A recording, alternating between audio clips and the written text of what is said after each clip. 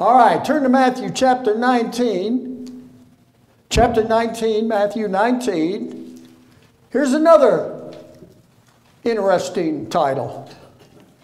Is being good good enough? So let me ask you Is being good good enough? And the answer is no. Why do I bring this up?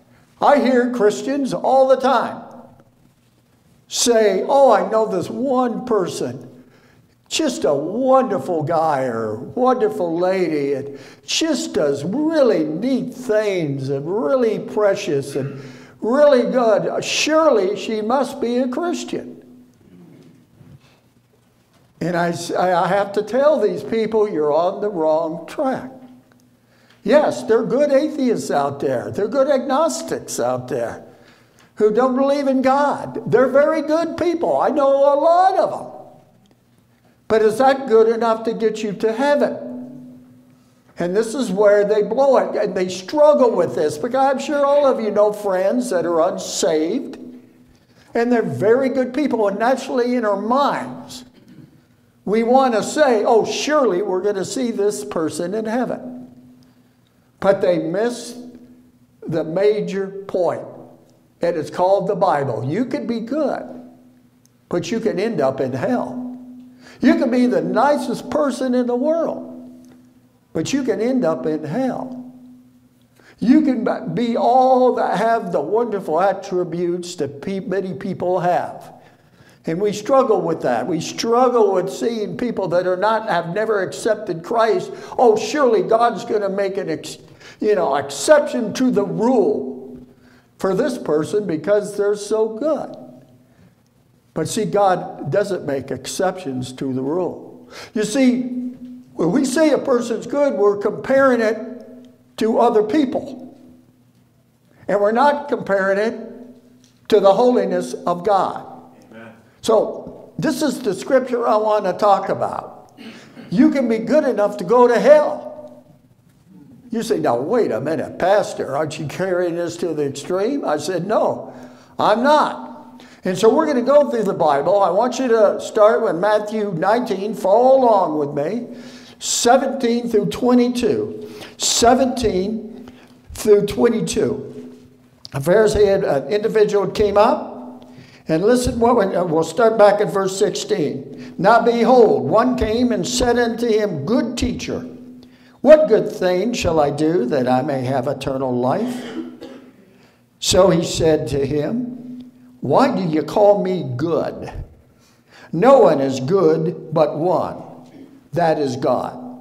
But if you want to enter into life, keep the commandments. And he said unto him, Which ones? Jesus said, Thou shalt not murder, thou shalt not commit adultery, thou shalt not steal, thou shalt not bear false witness, honor your father and your mother, and you shall love your neighbor as yourself. And here's where the young man gave the wrong answer. The young man said unto him, All these things I have kept from my youth. What do I still lack? And Jesus said unto him, If you want to be perfect, notice how he said that. If you want to be perfect, go, sell what you have and give to the poor, and you will have treasure in heavens, and come follow me. But when the young man heard that, saying, he went away sorrowful, for he had great possessions. Lord, be with the message today. He blew it. He was going by the commandments and not falling upon the mercy of Almighty God.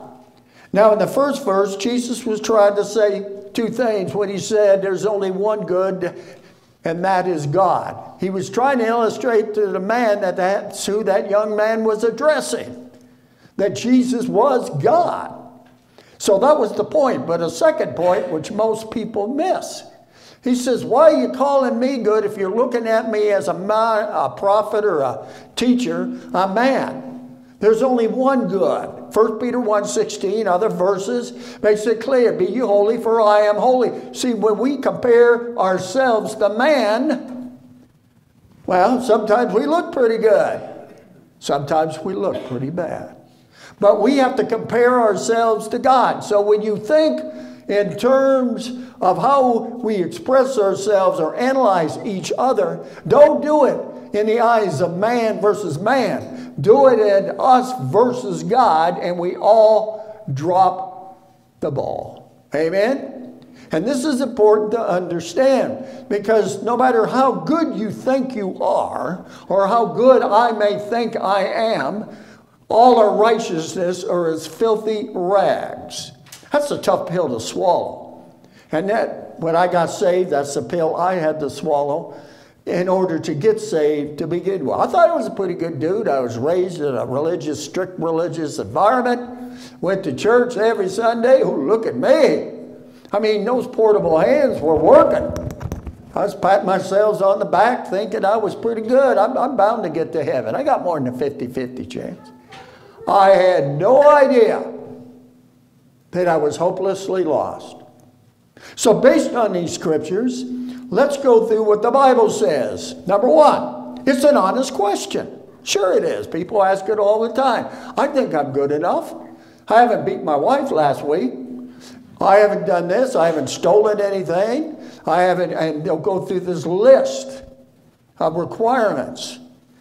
But here's what the Bible says Job 9 2. Truly, I know it is so, but how can a man be righteous? And here's the word before God, not before man. Notice what Job said here. He said, None of us can be righteous before God. In Job 14 4, who can bring a clean thing out of an unclean? No one. No one. And then in Job 25, verse 4, how then can a man be righteous before God? How can he be pure who is born of a woman? Now, that last part of that verse really hits home. We were born in sin, as we're going to see in some verses following. We were born with a sin nature. No matter how good you are or how many good you think you are, see, millions of people are depending on their goodness, their self righteousness to get into heaven. And they're not going to make it. The only reason why you're going to heaven and the only reason why I'm going to heaven is by the total grace and mercy of our Lord and Savior Jesus Christ. Today, as never before, we have churches sprouting up everywhere preaching modernism, liberal, all everyone's going to heaven. We're basically good and on and on. Folks, that is the most best weapon that Satan uses today. How good we are. How do we equate ourselves?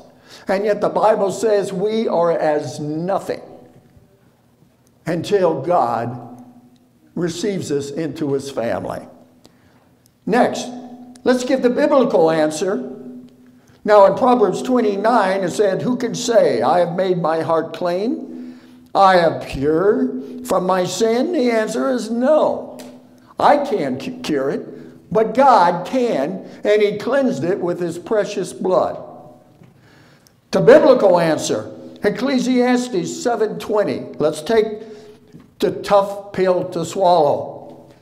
For there is not a just man on earth who does good and does not sin. Not one, notice. Didn't say a few, didn't say oh, five or ten. None of us are, what does it say? Does not sin.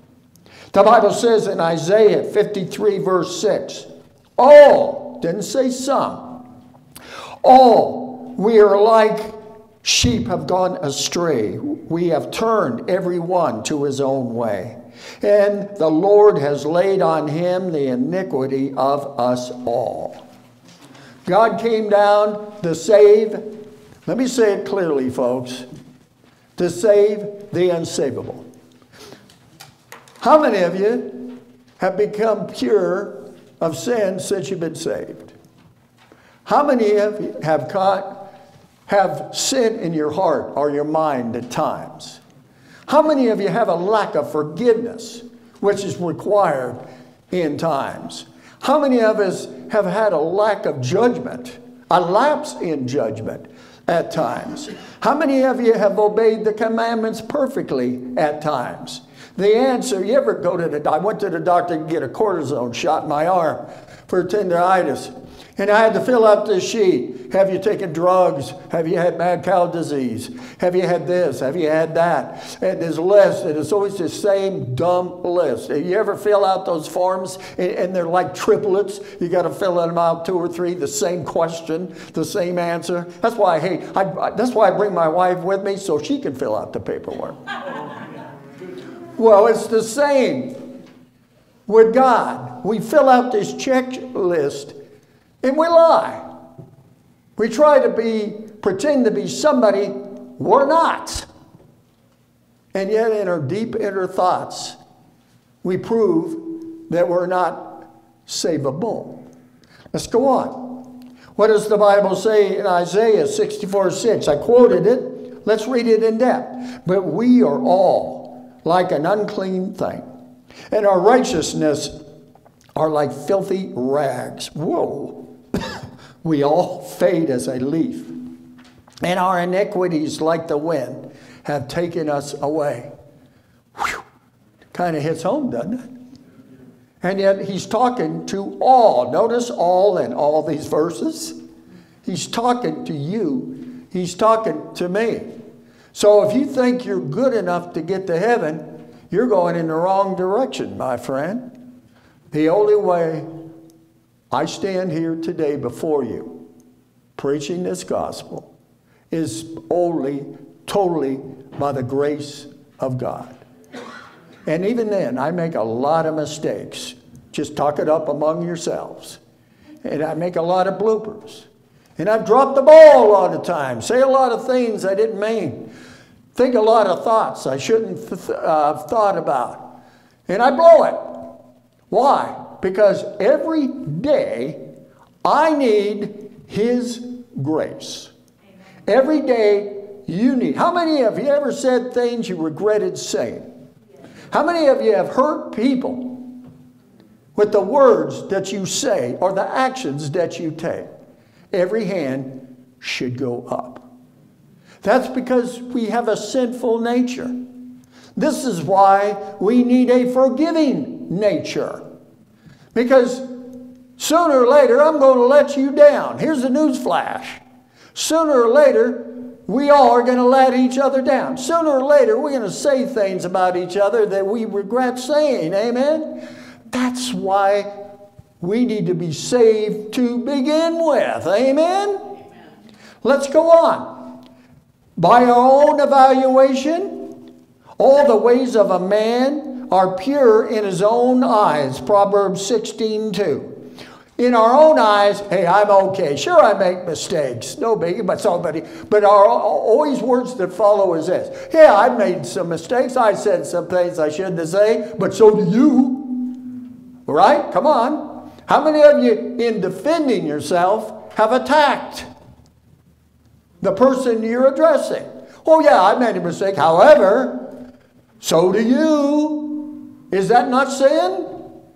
What they Jesus did, he didn't go around. They accused him of everything. Paul, all the way down, and he found fault. And but our old nature has a tendency to fight back. And you say, I would never do that. Wait till it happens. Because we get our feathers ruffled, don't we? We get offended. We don't like the thought of, uh oh, I blew it. Instead of saying, I'm wrong, I confess. We say, yeah, but you've done things too. I mean, we're like little children, are we not? And yet, all the other time, we're good. We're good. I'm, I'm still a good person, but we still fall into sin, do we not? And Christians have a difficult time. It's easy to say, well, that brother sins, or this sister sins, or this person sins, or that. But have you ever just said, I blew it? Not to God, but to each other? Try that sometime. Not as easy because you're seeing the person face to face. And yet we say, because basically what you're doing, you're saying, I'm a good person. And the Bible says, what? Let's go to the next verse. It says this Proverbs 21 2. Every way of a man is right in his own eyes, but the Lord weighs the hearts. Every time I've done this many times too. Now, wait a minute. I know I did something bad, but I know something you did worse. Aren't we like kids in a kindergarten in a sandbox? Well, I did worse. Look at that. I mean, I don't understand. Look at that guy down there. Oh, I better point to an open chair here. And we, it's so easy to deflect, right? Let's blame this person. I'm a good person. I think I'm a good person. And yet, what does the Bible say in Proverbs 30, verse 12? There is a generation that is pure in his own eyes, yet is not washed from his. Ooh, we like the first part. Now, the second part. Yet is not washed from his filthiness. Nobody likes looking. How many of you get up in the morning and look at all the failures, mistakes, sins that you've committed? right? No. We're, but we have no problem pointing to people and all the mistakes I've committed or they've committed. It's easy to say they offended me, they sinned, not realizing that we all have sinned. Amen? Pretty quiet in here. I must be hitting some sensitive hearts. Because it's easy. We, it's easy. Our natural reflex, when somebody says, You offended me, you cussed me out, you did something, you said a nasty thing, or you did this, or you offended me, or you didn't shake my hand. One day, I had this one pastor tell a story that where a couple, if he didn't shake the hand, it was like they got offended. And finally, the pastor just kept sticking, he kept his hand out the whole time. And so the congregation went, they let, it was comical. I said, I solved the problem. I had my hand out the whole time. Every single person who walked by shook my hand. And ironically, a couple of them that didn't shake my hand were the ones that were complaining. And finally, they say, Why are your arm always out? Because I don't want to offend anybody. And yet, Oh, look what that Jim Partridge did. Oh, he didn't smile this week. He didn't smile this month. I'll take it back. He smiled at Dave. I want you to applaud him. He smiled at Dave. And Dave had to pick him up off the floor. But see, we're always easy to do that. Why? Because we're all sinners. And once we grasp that, once we understand that, we don't deserve heaven. We don't deserve salvation. We don't even deserve to be here today. But still, God loves us. Still, God forgives us. And still, God says, continue on. Amen? Or we learn by, do we do it by man's evaluation or God's evaluation? Now, here is where the tire hits the road. Psalms 130, verse 3. If you, Lord, should mark iniquities, O Lord, who could stand? None of us. None of us. Psalms 143, verse 2 Do not enter into judgment with your servant, O Lord, for in your sight no one living is righteous. So, is being good good enough? The answer is no. The Bible says in Romans 10:3, now listen, this is what the Pharisees' problem was. And sadly, today, this is what many Christians' problem are. And this is where you get what I call legalistic or judgmental Christians. They forget that we're all sinners. They forget they did not deserve heaven. I did not deserve heaven. They forget Jesus' loving kindness. See, once you accept that, you will be more forgiving, more compassionate, more Christ like. Listen to what the Bible continues. Romans 10:3, a very important verse. Memorize it. For they, being ignorant of God's righteousness, that means His holiness, His forgiveness, His justification, His redemption, and seeking to establish their own righteousness, have not submitted to the righteousness of God. And what is that? I am a sinner. I blew it yesterday, I blew it today, and here's a news flash I'm going to blow it tomorrow.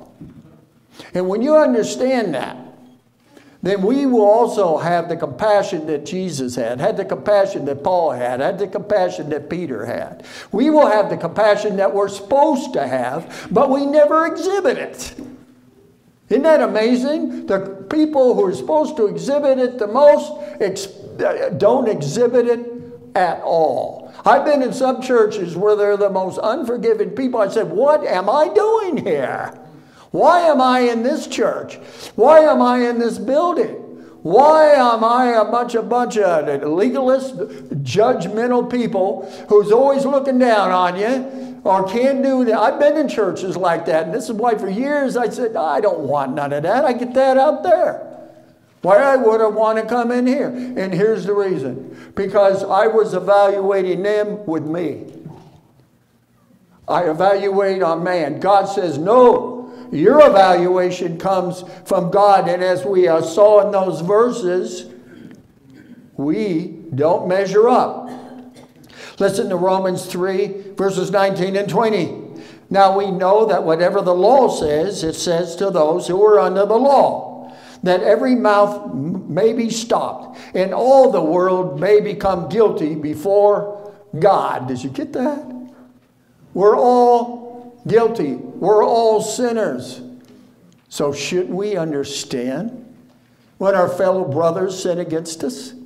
Shouldn't we understand when our brother, uh, sister sins against us? Should we understand and show a little forgiveness?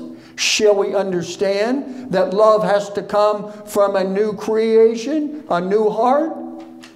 Most of the time, we don't, especially if it affects us personally. Galatians 3:22, but the scripture has concluded all under sin, that the promise by faith in Jesus Christ might be given to those who believe. If I were to ask you now, do you believe in Jesus Christ? You'd say amen. If I ask you now, have you accepted Jesus Christ as your Lord and Savior? You would say amen. If I ask you, do you love and forgive and live like Jesus Christ? We'd have the silence I got right now. Isn't it time we understand that we're all sinners? No matter how good you may think you are, we're never good enough to get to heaven. In Titus 3 5, it says, Not by works of righteousness which we have done, but according to his mercy, he saved us.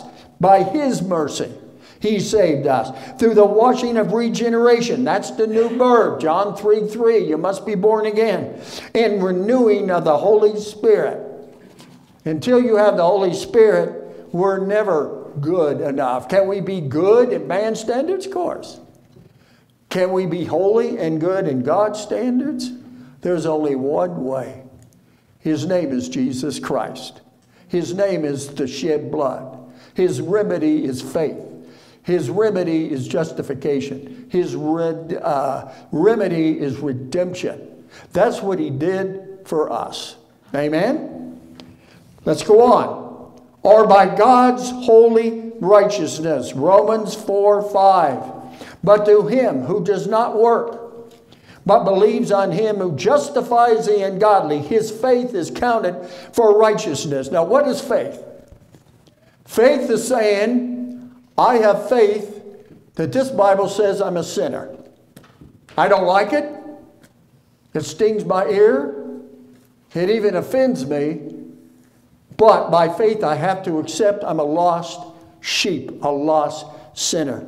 But it also says, by faith, God has a cure. His righteousness, His goodness, not our perfection. I hear people say, I haven't sinned in a year. I said, You must be in heaven already because I sure couldn't measure up to that one. But I hear Christians say this all the time I'm a good person. I said, You got it all backwards, folks. The only reason why you're good is because you have the goodness of God in you. Let me say that for those that are dull of hearing. Only way you are good, only way you are declared righteousness is because God is in you. It's called the new nature. Does it mean we're never going to sin again? I wish that were the case. But see, God's always there saying, I forgive, I forgive, I forgive. Man is always saying, You have offended me, but I won't forget. I won't forget. I forgive you. I forgive you until next time. God doesn't say until next time. He just says, I forgive. Isn't that great? Let's go on. Romans 5:21 so that as sin reigned in death even so grace might reign through righteousness to eternal life.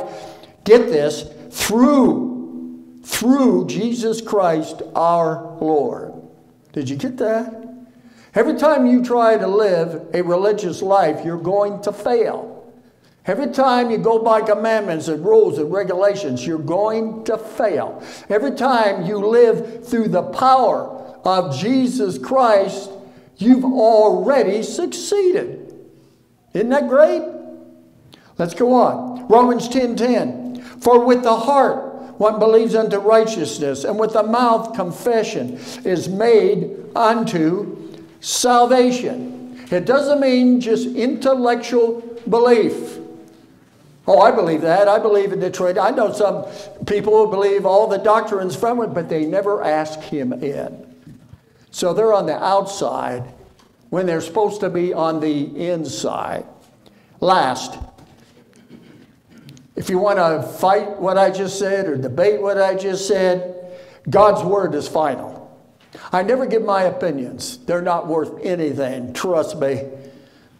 Listen to God's word is final. Psalms 51, verse 5 David, after he had committed the sin of adultery with Bathsheba, adultery, mind you, look what he said Behold, I was brought forth in iniquity, and in sin my mother conceived me.